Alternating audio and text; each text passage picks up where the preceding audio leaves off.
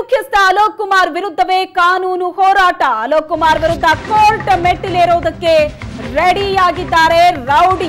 CCB ಮುಖ್ಯಸ್ಥರಾದ ಅಲೋಕ್ ಕುಮಾರ್ ವಿರುದ್ಧವೇ ಕಾನೂನು ಹೋರಾಟಕ್ಕೆ ರೌಡಿಯೊಬ್ಬರು ರೆಡಿಯಾಗಿದ್ದಾರೆ.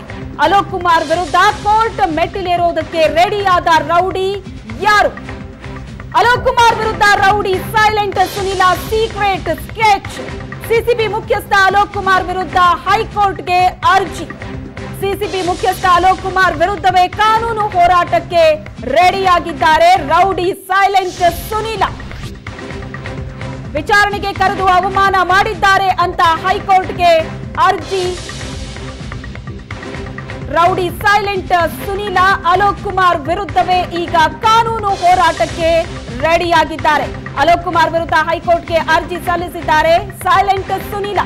ಅವಾಚ್ಯ ಶಬ್ದಗಳಿಂದ ನಿಂದಿಸಿದ್ದಾರೆ ಅಂತ ಆರೋಪಿಸಿ ಅಲೋಕ್ ಕುಮಾರ್ ವಿರುದ್ಧ ಅರ್ಜಿಯನ್ನ ಸಲ್ಲಿಸಿದ್ದಾನೆ. ಅವಮಾನ ಮಾಡಿದ ಅಲೋಕ್ ಕುಮಾರ್ ವಿರುದ್ಧ ಕ್ರಮಕ್ಕೆ ಹೈಕೋರ್ಟ್ಗೆ ಅರ್ಜಿ ಸಲ್ಲಿಕೆ ಆಗಿದೆ. ರೌಡಿ ಸೈಲೆಂಟ್ ಸುನೀಲನಿಂದ. ಅವಾಚ್ಯ ಶಬ್ದಗಳಿಂದ ತನಗೆ ನಿಂದಿಸಿದ್ದಾರೆ ಅಂತ ಆರೋಪ ಮಾಡಿದ್ದಾನೆ ರೌಡಿ ಸೈಲೆಂಟ್ ಸುನೀಲ. ಅಲೋಕ್ ಕುಮಾರ್ ವಿರುದ್ಧ ಈಗ ಕೋರ್ಟ್ ಮೆಟ್ಟಿಲೇರೋದಕ್ಕೆ ರೌಡಿ ರೆಡಿಯಾಗಿದ್ದಾರೆ.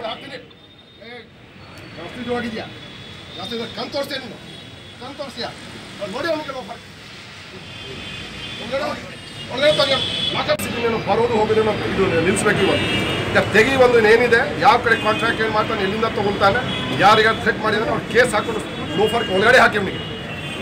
ಜಾಸ್ತಿ ನಿಮಗೆ ಸೊಕ್ಕಾಗಿದೆ. ಈ ಕಡೆ ನೋಡು ಅವ್ನ ಸರಿಯಾಗಿ ಮಾತು ತಲೆ ಮೇಲೆ ಹಾಕ್ತೀನಿ. ಏ, ಜಾಸ್ತಿ ಇದು ಹೋಗಿದ್ಯಾ ಜಾಸ್ತಿ ಕಣ್ ತೋರಿಸ್ತೀಯ ನೀನು? ಕಣ್ ತೋರಿಸ್ತೀಯಾ? ನೋಡಿ ಅವನಿಗೆ ಒಳಗಡೆ ತಂಗ ಮಾತಾಡ್ಸಿದ್ದೀನಿ ನೀನು ಬರೋದು, ಹೋಗೋದು ನಾವು ಇದು ನಿಲ್ಲಿಸ್ಬೇಕು ಇವತ್ತು ತೆಗಿ ಒಂದು ಏನಿದೆ ಯಾವ ಕಡೆ ಕಾಂಟ್ರಾಕ್ಟ್ ಏನು ಮಾಡ್ತಾನೆ, ಎಲ್ಲಿಂದ ತಗೊಳ್ತಾನೆ ಯಾರಿಗಾರು ಥ್ರೆಟ್ ಮಾಡಿದ್ರೆ ಅವ್ರು ಕೇಸ್ ಹಾಕೊಂಡು ಲೋಫರ್ಗೆ ಒಳಗಡೆ ಹಾಕಿ ಅವನಿಗೆ. ಜಾಸ್ತಿ ನಿಮಗೆ ಸೊಕ್ಕಾಗಿದೆ. ಈ ಕಡೆ ನೋಡು ಅವ್ನ ಸರಿಯಾಗಿ ಮಾತು ತಲೆ ಮೇಲೆ ಹಾಕ್ತೀನಿ. ಈ ಕುರಿತಂತೆ ಹೆಚ್ಚಿನ ಡೀಟೇಲ್ಸ್ ಅನ್ನ ಕೊಡ್ತಾರೆ ನಮ್ಮ ಪ್ರತಿನಿಧಿ ರಮೇಶ್. ರಮೇಶ್ ಸಿಸಿಬಿ ಮುಖ್ಯಸ್ಥ ಅಲೋಕ್ ಕುಮಾರ್ ವಿರುದ್ಧವೇ ಕಾನೂನು ಹೋರಾಟಕ್ಕೆ ರೌಡಿಯೊಬ್ಬ ರೆಡಿಯಾಗಿದ್ದಾರೆ. ಯಾವ ಸಂದರ್ಭದಲ್ಲಿ ನಡೆದಂತಹ ಘಟನೆಯ ಬಗ್ಗೆ ಈಗ ಆರೋಪ ಮಾಡ್ತಾ ಇರೋದು ರೌಡಿ ಸೈಲೆಂಟ್ ಸುನೀಲ.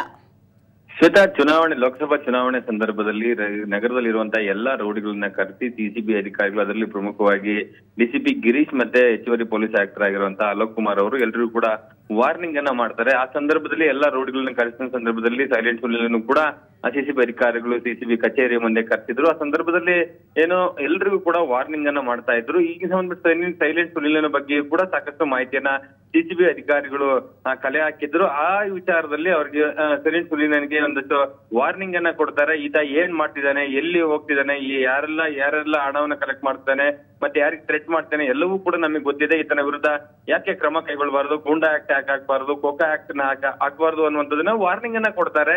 ಅದನ್ನೇ ಇಟ್ಟುಕೊಂಡು ಸೈಲೆಂಟ್ನಲ್ಲಿ ಈಗ ಹೈಕೋರ್ಟ್ ಮೆಟ್ಲೇರುವಂತಹದ್ದು ತನ್ನ ವಿರುದ್ಧ ವಿನಾಕಾರಣವಾಗಿ ಅವರು ಕೇಸನ್ನ ಹಾಕುವಂತಹದ್ದು, ನನಗೆ ಬೆದರಿಕೆ ಹಾಕುವಂತಹದ್ದು, ಮತ್ತೆ ಮೀಡಿಯಾಗಳ ಮುಂದೆ ನನ್ನ ವಿರುದ್ಧ ಅವಾಚ್ಯ ಶಬ್ದ ಶಬ್ದಗಳಿಂದ ನಿಂತಿದ್ದಾರೆ ಅನ್ನುವಂತ ಒಂದು ಆರೋಪವನ್ನು ಮಾಡ್ತಾನೆ. ಹಾಗಾಗಿ ತನ್ನ ವಿರುದ್ಧ ಯಾವುದೇ ಕ್ರಮ ಆಗ್ಬಾರ್ದು ಅನ್ನುವಂತ ಒಂದು ಏನು ಮನವಿಯನ್ನು ಕೂಡ ರಿಟ್ ಪಿಟಿಷನ್ ಅಲ್ಲಿ ಸಲ್ಲಿಸಿರುವಂತಹದ್ದು. ಜೊತೆ ಇಲ್ಲಿ ಒಂದು ಅರ್ಥ ಆಗ್ತಾ ಇಲ್ಲ. ಯಾಕೆಂದ್ರೆ ಈ ರೀತಿಯಾದಂತ ಸಾಮಾಜಿಕ ಸಮಾಜಘಾತಕ ಶಕ್ತಿಗಳು ಅಂತ ಏನ್ ರೌಡಿ ಶೀಟರ್ಗಳಿದ್ದಾರೆ ಇವ್ರನ್ನ ಕರೆದಂತ ಪೊಲೀಸ್ ಅಧಿಕಾರಿಗಳು ಅವ್ರಿಗೆ ಕರೆದು ವಾರ್ನಿಂಗ್ ಕೊಡೋ ಸಂದರ್ಭದಲ್ಲಿ ಈ ರೀತಿ ಮಾತಾಡುವಂತದ್ದು ವಾರ್ನಿಂಗ್ ಕೊಡುವಂತದ್ದು ತನ್ನ ವಿರುದ್ಧ ಕೇಸ್ ಹಾಕಿ ಒಳ ಕಳಿಸ್ತಾರೆ ಅನ್ನುವಂತಹದ್ದನ್ನು ಕೂಡ ಹೇಳಲಿಕ್ಕೆ ಆಗೋದಿಲ್ಲ ಹಿರಿಯ ಪೊಲೀಸ್ ಅಧಿಕಾರಿಗಳು ಅನ್ನುವಂತಹದ್ದಾದ್ರೆ ಸಮಾಜದಲ್ಲಿ ಯಾವ ರೀತಿ ಕಾನೂನು ಸುವ್ಯವಸ್ಥೆನ ಕಾಪಾಡ್ಲಿಕ್ಕೆ ಕಾಪಾಡ್ಬೇಕಾಗುತ್ತೆ ಅನ್ನುವಂತಹದ್ದು ಕೂಡ ಒಂದು ಅಂಶ. ಆಗ ಈ ಇಂಥದ್ದು ಎಲ್ಲ ಇಂಥ ಸಣ್ಣ ಪುಟ್ಟ ವಿಚಾರಗಳು ಹೈಕೋರ್ಟ್ ವಿರುದ್ಧ ಹೈಕೋರ್ಟ್ಗೆ ಪೊಲೀಸ್ ಅಧಿಕಾರಿಗಳ ವಿರುದ್ಧ ಹೋಗ್ತಾರೆ ಅಂದ್ರೆ ಪೊಲೀಸ್ ಅಧಿಕಾರಿಗಳ ಮುಂದೆ ಇಂತಹ ಒಬ್ಬ ನಟೋರಿಯಸ್ ವ್ಯಕ್ತಿಗಳ ವಿರುದ್ಧ ಕ್ರಮ ಕೈಗೊಳ್ಳೋಕೆ ಸಾಕಷ್ಟು ತೊಂದರೆ ಆಗುತ್ತೆ. ಹಾಗಾಗಿ ಈ ಒಂದು ಪಿಟಿಷನ್ ಈಗ ಹೈಕೋರ್ಟ್ ಅಲ್ಲಿ ಸಲ್ಲಿಕೆ ಆಗಿದೆ. ಮುಂದೆ ಯಾವ ರೀತಿಯಾದ ಆದೇಶ ಹೊರಗೆ ಬೀಳುತ್ತೆ ಹೈಕೋರ್ಟ್ ಇಂದ ಅನ್ನುವಂಥದ್ದು ಕುತೂಹಲ ಮೂಡಿಸಿರುವಂತಹದ್ದು ಥ್ಯಾಂಕ್ ಯು ರಮೇಶ್. ನಿಮ್ಮೆಲ್ಲ ಡೀಟೇಲ್ಸ್ಗೆ